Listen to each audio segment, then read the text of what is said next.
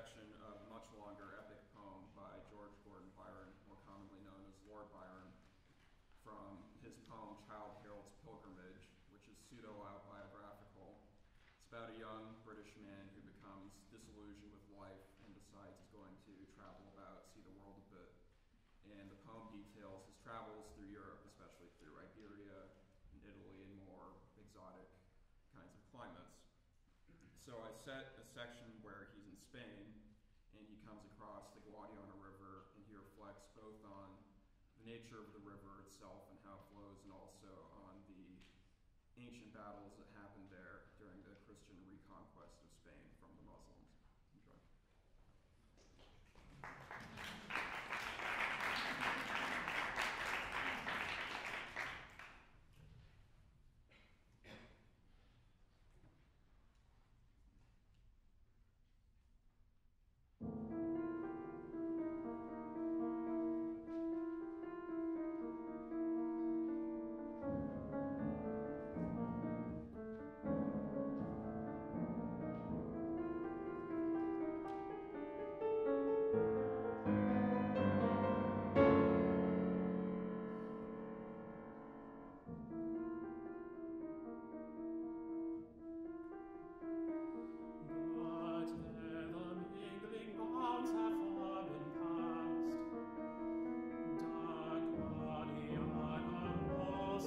solid billows murmuring and